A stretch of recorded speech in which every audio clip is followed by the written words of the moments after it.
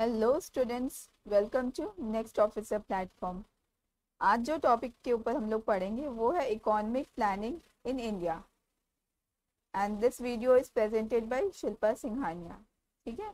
ये हमारा काफ़ी सारे वीडियोस हमने पहले भी कवर कर लिए हैं. अभी प्लानिंग के ऊपर ये हमारा पहले फ़र्स्ट वीडियो है. शुरू करते हैं हम लोग. पहले हम लोग को जानना ये पड़ेगा कि इकोनॉमिक प्लानिंग एक्चुअल में होता क्या है? What do you mean by economic planning आप लोग कहीं घूमने जाते हैं तो आप लोग प्लानिंग करते हैं कि आप लोग को कहाँ जाना है, कितना बजट में जाना है, कितना बजे जाना है, कब जाना है, कितना दिन स्पेंड करना है, वहाँ पर कैसे रिटर्न करना है, सारा प्लानिंग करते हैं। तो वही जब हम लोग इकॉनमी को लेके प्लानिंग करते हैं, जब हम लोग इकॉनमी में प्लानिंग करते हैं, जब इकॉनमी को लेके प्लानिंग करते हैं, तब हम लोग इकोनॉमिक प्लानिंग बोलते हैं उस चीज़ को। अब सपोज़ इकोनॉमिक प्लानिंग कौन करता है? हमारा कंट्री का head prime minister Narendra Modi. वो जब डिसाइड करते कि हमारा कंट्री का जो रिसोर्सेज है, उसको किस तरह से प्लान वे में हम लोगों तक पहुँचा सके, वो पूरा प्लानिंग प्रोसेस को हम लोग बोलते हैं इकोनॉमिक प्लानिंग ठीक है? ये basically central and state authorities के द्वारा ही की जाती है.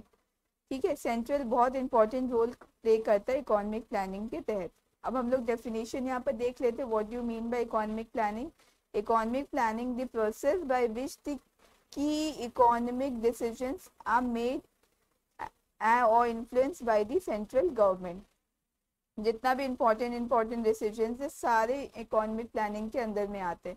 हम लोग प्लान कर देते हैं प्लान कर लेते हैं कि एक साल में हम लोग को यहाँ इस सेक्टर में इतना स्पेंड करना है, दो साल में इतना स्पेंड करना है, पाँच साल में हम लोग को इस, ये एग्रीकल्चर में फोकस करके रहना है, हम लोग को यहाँ पर डेवलपमेंट करना ये पूरा प्लानिंग हम लोग पहले ही कर लेते हैं। ठीक है?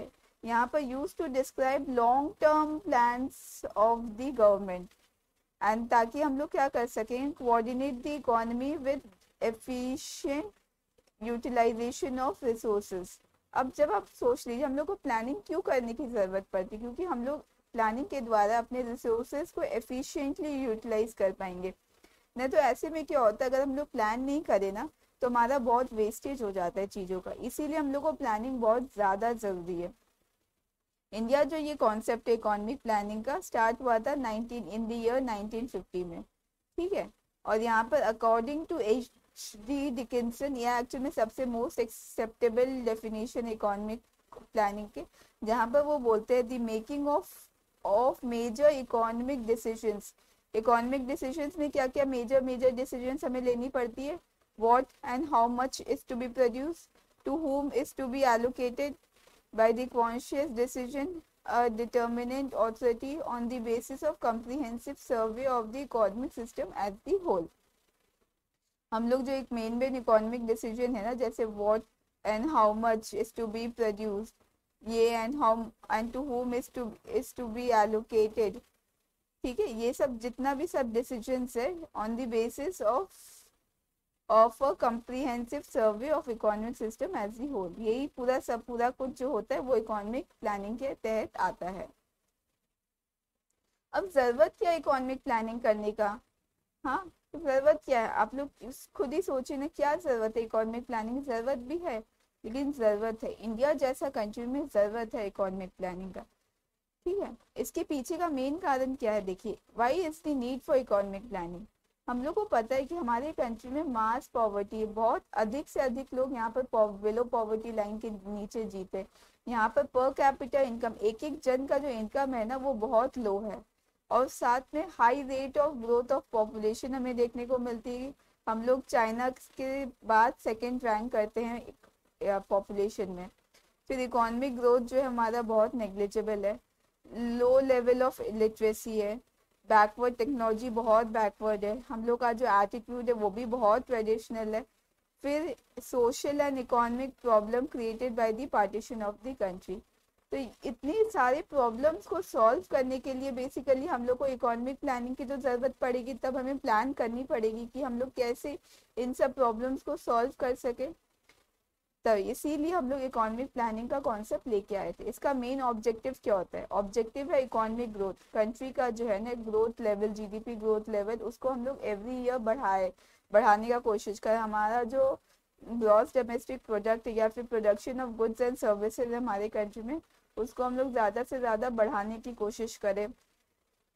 साथ में रिडक्शन ऑफ़ इनकम इनक्वालिटीज फिर बैलेंस्ड ग्रोथ हो हमारा कंट्री में फिर मॉडर्नाइजेशन हो और साथ में रिडक्शन ऑफ़ अनएम्प्लॉयमेंट ये बेसिकली पाँच ऑब्जेक्टिव्स है जिसको लेके हम लोग इकोनॉमिक प्लानिंग को बेस्ड करते हैं।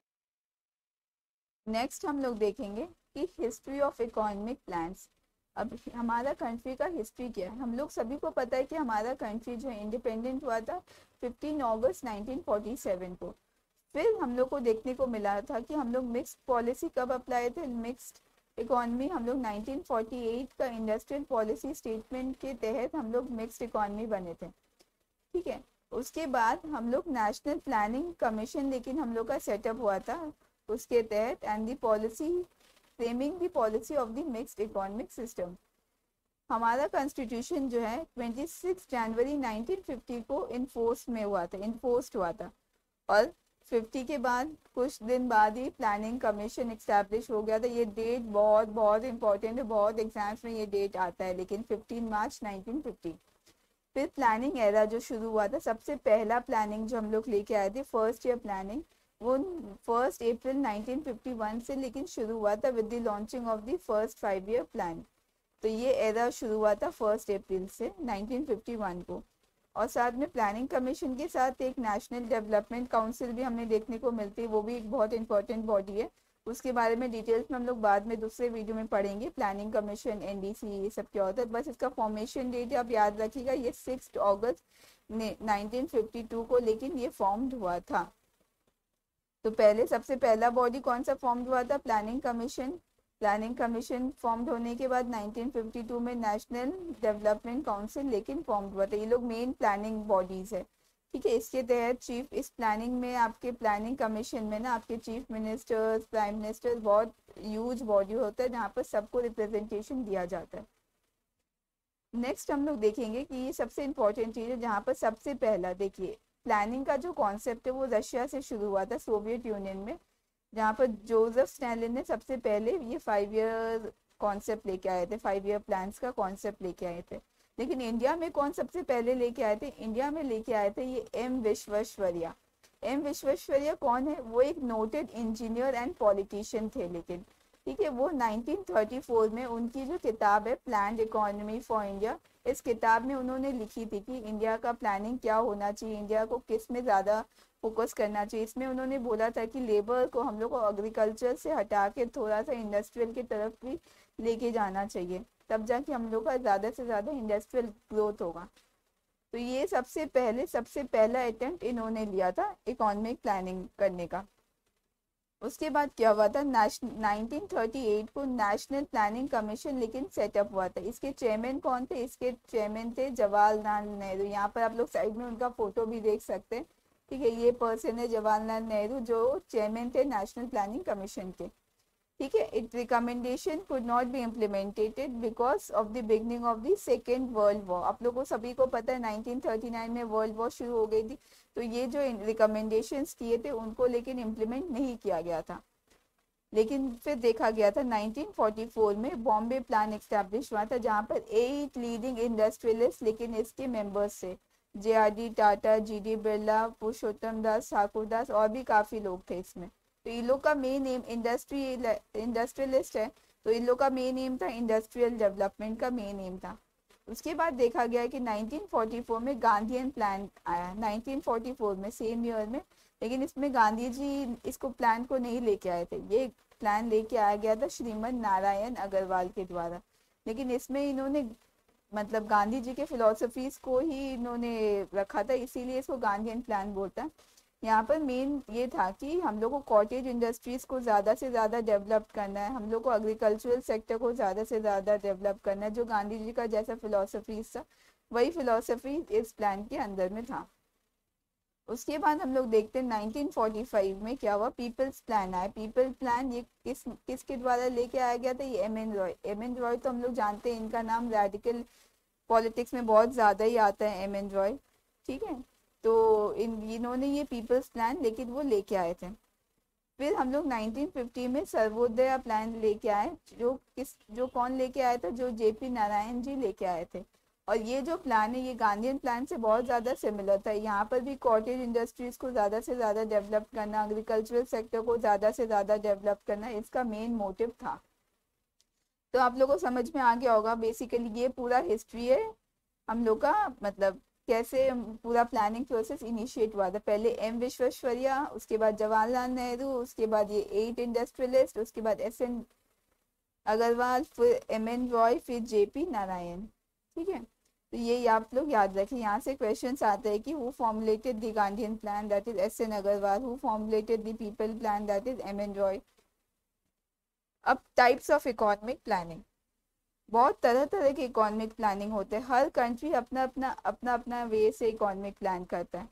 सबका एक प्लानिंग नहीं होता है। तो यहाँ पर हम लोग देखेंगे कि सेंट्रलाइज डिसेंट्रलाइज होता है। इम्पेरेटिव इंडिकेटिव होता है शॉर्ट रन लॉन्ग टर्म होता है फ़िज़िकल फाइनेंशियल प्लानिंग होता है रोलिंग एंड फिक्स्ड प्लान होता है। इसको हम लोग डिटेल्स में आगे के वीडियो में पढ़ेंगे। तो देख लेते हैं पहले डिसेंट्रलाइज और सेंट्रलाइज प्लानिंग क्या होता है? सेंट्रलाइजेशन मतलब क्या होता है? सेंट्रलाइजेशन सपोज़ क्या हो रहा है? यहाँ पर यहाँ पर नरेंद्र मोदी जी को सेंट्रल अथॉरिटी में बैठा देते हैं। वही सारा प्लान वही कर रहे हैं। और स्टेट्स को ऑर्डर दे दे रहे कि तुम लोग को ऐसे ऐसे ऐसे करके फॉलो करना पड़ेगा। तो ठीक है तो ये हो गया सेंट्रलाइज प्लानिंग पूरा जो डिसीज़न है वो सेंट्रल ले रहा है और स्टेट्स को बोल दे रहा है कि तुमको ऐसे ऐसे ऐसे करके फॉलो करना पड़ेगा। उनके पास कोई अथॉरिटी नहीं है। तो यहाँ पर देखा गया है यहाँ पर डिसीज़न मेकिंग क्या होता है? कंपेरेटिवली हम्म, फास्ट रहता है। और power of planning and decision making exclusively in the hands of top management जो भी टॉप मैनेजमेंट होता है, उनके हाथ में लेकिन इनका पूरा डिसीज़न मेकिंग प्रोसेस रहता है। डिसेंट्रलाइजेशन में आपका क्या होता है? सेंट्रल जो है, वो पावर स्टेट को दे देता है कि आप लोग डिसाइड करिए कि आप लोग को क्या करना है, क्या नहीं करना है। तो यहाँ पर जो है डिसमिनेशन हो जाता है पावर्स का from the top to the middle and the lower authorities हम लोग का पता है कि decentralisation panchayat and municipality system में इनिशिएट हुआ था। तो यहाँ पर क्या होता है हर किसी को पावर दिया जाता है उनको अपने हिसाब से काम करने का। तो जैसे आप सपोज़ यहाँ पर स्टेट अपना काम करेगी अपना प्लान करेगी सेंटर अपना प्लान करेगी फिर ये जो स्टेट्स कुछ स्टेट्स मिलके काम की उसके बाद वो सेंट, सेंट, स्टेट को पावर दे दी। फिर स्टेट अपना पावर थोड़ा बहुत नीचे अपना पंचायत एंड म्यूनसिपैलिटीज को दे दिया। तो इस तरह से वो पूरा प्रोसेस जो होता है ना, वो पूरा पूरी डिसेंट्रलाइज हो जाता है। ठीक है? यहाँ पर हम लोग का बीच में भी टॉपिक आया था कि हम लोग को जो वैक्सीन का जो प्रोडक्शन है, जो बेसिकली डिस्ट्रीब्यूशन है, उसको डिसेंट्रलाइज कर देना चाहिए। तो हम लोग ने डिसेंट्रलाइज कर भी दिया था। ठीक है? और उसके बाद देखा गया बहुत प्रॉब्लम होने लगे डिसीज़न मेकिंग स्लो होने लग गया, बहुत प्रॉब्लम होने लगी। तब जाके हम लोग ने सेंटर वापस से बोला कि नहीं वैक्सीन का प्रोडक्शन और डिस्ट्रीब्यूशन हम लोग सेंट्रलाइज कर देंगे इस पूरे प्रोसेस को। नेक्स्ट जो प्लानिंग है, वो है आपका imperative planning and indicative planning पहले मैं बता देती हूँ इम्परेटिव मतलब क्या होता है? ऑर्डर देना। और हम ऑर्डर दे रहे, जैसे ऑर्डर दे रहे, आपको वैसे ही फॉलो करना पड़ेगा। ये सब बेसिकली हम लोग को इंडिया में नहीं देखने को मिलती है इम्परेटिव प्लानिंग ये सब चाइना जैसा कंट्री रशिया जैसा country socialist and communist countries में ये ज़्यादा देखने को मिलती है। ठीक है? और कैपिटलिस्ट और मिक्स्ड इकोनॉमी कंट्रीज़ जैसे इंडिया में, वहाँ पर हम लोग को इंडिकेटिव प्लानिंग देखने को मिलती है। तो यहाँ पर इम्परेटिव में क्या होता है? Economic decision are made through central planning authority China में देखिए गवर्नमेंट जो है सेंट्रल प्लानिंग अथॉरिटी है। और वही सारा इकोनॉमिक डिसीजंस लेती है, लेकिन स्टेट्स के पास कोई भी पावर नहीं होता है, ना ही लोगों के पास कोई पावर होता है वहाँ पर। वहाँ पर जितना भी रिसोर्सेज को एलोकेट करना होता है या डिस्ट्रीब्यूट करना होता है, वो सब सब क्या होता है? Pre determined plan and target के हिसाब से होता है, वो भी पूरा पूरी कौन डिसाइड करता है? डिटरमाइंड सेंट्रली पूरा पूरी सेंट्रली डिटरमाइंड होता है कि हम लोग को किस तरह से डिस्ट्रीब्यूशन करना है। और यहाँ पर bureaucratic control and regulation and direction undemocratic in nature क्योंकि लोगों के पास कोई भी पावर नहीं होता है। तो यहाँ पर ब्यूरोक्रेटिक कंट्रोल एंड ये रेगुलेशन एंड डायरेक्शन है बहुत अनडेमोक्रेटिक होता है। डेमोक्रेटिक कंट्रीज़ में ये सब नहीं देखने को मिलती है जल्दी से। क्योंकि यहाँ पर जो भी रिसोर्सेज है ना लैंड लेबर कैपिटल उसको कौन डिसाइड करेगा, कैसे भेजना है, कहाँ भेजना है इसलिए भेजना पूरा पूरी सेंट्रल डिसाइड करता है। स्टेट्स के पास कोई पावर नहीं रहता इस केस में। इंडिकेटिव में क्या होता है? इंडिकेटिव प्लानिंग में कंज्यूमर्स के पास लेकिन फ्रीडम रहती है। प्रोड्यूसर्स के पास फ्रीडम रहती है कि उसको कितना प्रोड्यूस करना है, किसके लिए प्रोड्यूस करना है, क्या प्रोड्यूस करना है। सारा जितना भी है ना, सब उन लोग के पास फ्रीडम रहती है। इसलिए are the are achieved so that the targets and plans of the plans are achieved यहाँ पर क्या होता है? यहाँ पर middle path of planning mechanism हम लोग फॉलो करते हैं। मिडिल पाथ प्लानिंग मैकेनिज्म और मार्केट मैकेनिज्म को हम लोग मिडिल पाथ यहाँ पर फॉलो करते हैं। यहाँ पर हम लोग को ये देखने को मिलता है कि एक तरह का कोऑर्डिनेशन है। प्राइवेट और पब्लिक सेक्टर मिक्स्ड इकोनॉमी में प्राइवेट और पब्लिक दोनों ही रहते हैं और उन दोनों के बीच में हमें कोऑर्डिनेशन देखने को मिलती है, लेकिन इंडिकेटिव प्लानिंग में मिक्स्ड इकोनॉमिक्स में। अभी इंडिया जैसा कंट्री है बेसिकली इंडिकेटिव प्लानिंग फॉलो करता है, जहाँ पर कंज्यूमर्स को भी फ्रीडम है कि हमें क्या खरीदना है, क्या नहीं खरीदना है प्रोड्यूसर्स को भी फ्रीडम है कि उन्हें क्या बनाना है, किस, क्या नहीं बनाना है। और साथ में कोऑर्डिनेशन है प्राइवेट और पब्लिक एक्टिविटीज़ में एक तरह का कोऑर्डिनेशन हमें यहाँ पर देखने को मिलती है। लेकिन यहाँ पर पूरा, पूरी पब्लिक है, यहाँ पर प्राइवेट बोल के कुछ है ही नहीं। ठीक है, यहाँ पर प्रोड्यूसर्स और कंज्यूमर्स को कोई भी फ्रीडम नहीं, पूरा, पूरी सेंट्रल जो बोलता है, वैसे ही हमें करना पड़ता है। नेक्स्ट है फ़िज़िकल प्लानिंग और फाइनेंशियल ये कुछ भी नहीं। यहाँ पर बेसिकली हम लोग प्लान करते हैं कि हमारा मेन मटेरियल मशीनरी को किस तरह से हम लोग को डिस्ट्रीब्यूट करना है। और फाइनेंस में बेसिकली हम लोग ये डिसाइड करते हैं, हम लोग अपना रिसोर्सेज को किस तरह से इन टर्म्स ऑफ़ मनी लेकिन डिस्ट्रीब्यूट कर सकते हैं। तो ये बेसिकली फाइनेंशियल प्लानिंग जहाँ पर रिटायरमेंट प्लानिंग करते हैं इंश्योरेंस क्या है टैक्स का पूरा प्लानिंग करते हैं इन्वेस्टमेंट का पूरा प्लानिंग करते हैं, ये ये हर जगह ही देखने को मिलता है। फाइनेंशियल प्लानिंग इंडिया में भी होती है इवन फ़िज़िकल प्लानिंग दोनों ही होती है हमारे इंडिया में। ठीक है? नेक्स्ट हम लोग देखते हैं रोलिंग प्लान अब रोलिंग प्लान क्या होती है? पता है आपको इंडिया में रोलिंग प्लान लेकिन लाया गया था। ऐसे तो हम लोग फिक्स प्लान करते हैं, जहाँ पर हम लोग बोलते हैं कि फाइव ईयर प्लान वो बेसिकली फाइव ईयर्स के लिए वो एक फिक्स प्लान हो गया। ठीक है? उसमें हम लोग कुछ नहीं कर सकते। फिक्स ये four five six seven years के लिए हम लोग प्लान बना रहे और उसको हम लोग मीट करने का कोशिश करते हैं। ये वाला जो है, ये बेसिकली फाइव रशिया में हम लोग को देखने को मिला था। इंडिया में भी हम लोग का फाइव ईयर प्लान सिस्टम है फिक्स प्लान सिस्टम है। लेकिन रोलिंग में क्या होता है, हम लोग का इंडिया में 1978 में जब मोरारजी देसाई गवर्नमेंट आए थे, तब हम लोग रोलिंग प्लान लेके आए थे। रोलिंग मतलब क्या होता है? रोलिंग मतलब ऐसे ऐसे ऐसे ऐसे ऐसे ऐसे ऐसे ऐसे करके करके जो घूमता रहता है, उसको हम लोग रोलिंग बोलते हैं। है ना? तो यहाँ पर हम लोग क्या करते हैं every year three new plan made हर एक साल हम लोग तीन नया नया प्लान करते हैं। फ़र्स्ट सेकेंड और थर्ड देखिए, पहले हम लोग क्या प्लान करते हैं? Plan for the current year which include annual budget and the foreign exchange budget तो ये हम लोग प्लान करते हैं। जहाँ पर हम लोग इंक्लूड करते हैं एनुअल बजट को एंड फॉरेन एक्सचेंज बजट को हम लोग प्लान करते हैं कि हम लोग का एवरी ईयर एनुअल बजट आता ही है, साथ में फॉरेन एक्सचेंज बजट ये बेसिकली नहीं देखने को मिलता है बहुत कंट्रीज़ में देखने को मिलता है। तो एवरी हम लोग वो प्लान करते हैं। साथ में हम लोग plan for the three years four years and five years की प्रेजेंट का तो ये हो गया। साथ में और और तीन साल में हमें ये, तीन साल में ये ये करना है, ये ये करना है या फिर चार साल में हमें ये करना है। और तीसरा होता है हम लोग पर्सपेक्टिव प्लान भी इसी में होता है जहाँ पर दस पंद्रह या बीस साल के लिए भी हम लोग प्लान कर लेते हैं। सपोज़ एक गवर्नमेंट है ठीक है गवर्नमेंट अभी आई है मुराजी देसाई गवर्नमेंट अभी आया है तो वहाँ पर हम लोग इस साल एनुअल बजट भी प्लान करेंगे। साथ में हम लोग नेक्स्ट ती, तीन साल में क्या प्लानिंग होगा वो भी हम लोग साथ में कर ले रहे साथ में हम लोग दस या पंद्रह साल में क्या होना चाहिए वो भी हम लोग प्लान कर ले रहे ठीक है? फिर जब नेक्स्ट ईयर आया, फिर जब सेकेंड ईयर आया सेकेंड ईयर आया तो फिर हम लोग क्या करते हैं? फिर वापस से हम लोग करेंट ईयर को प्लान करेंगे, फिर उसके बाद नेक्स्ट ईयर को प्लान करेंगे, फिर उसके दस साल में क्या होगा, वो हम लोग प्लान करेंगे। तो इसलिए वो रोल होते जाता है रोल होते जाता है। तो इंडिया हम लोग मोराजी देसाई टेन्योर में सेवनटीन एट सेवेंटी एट से लेके एटी के बीच में लेकिन ये रोलिंग प्लान को फॉलो किए थे। तो बहुत ज़्यादा सक्सेसफुल नहीं था ये प्लान वो गवर्नमेंट भी हट गई तो ये प्लान प्रोसेस भी हट गया। तो अब हम लोग इस वीडियो के एंड में आ गए। तो हम लोग अब कुछ एक क्वेश्चन डिस्कस कर लेते हैं इसके बेसिस पे। ठीक है, क्या पढ़े, कितना सीखे आज हम लोग? तो यहाँ पर सबसे पहला ऑप्शन जो आपके पास है वो है इकोनॉमिक एंड सोशल प्लानिंग लेकिन कौन से सब्जेक्ट में आता है? कॉन्स्टिट्यूशन के कौन से सब्जेक्ट में यूनियन स्टेट या कॉन्करेंट में कौन से सब्जेक्ट के अंदर में ये आता है? ठीक है?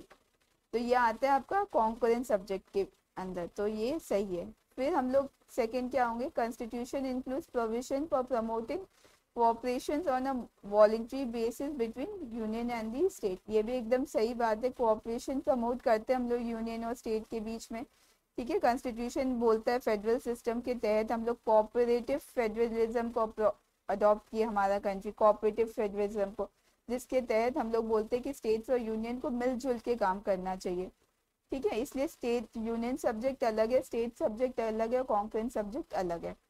और तीसरा जो पॉइंट बोला गया है, वो है आपका constitution also sets out in broad outline the pattern of the welfare state in wishes and the fundamental principles on which it should rest ये भी एकदम सही बात है।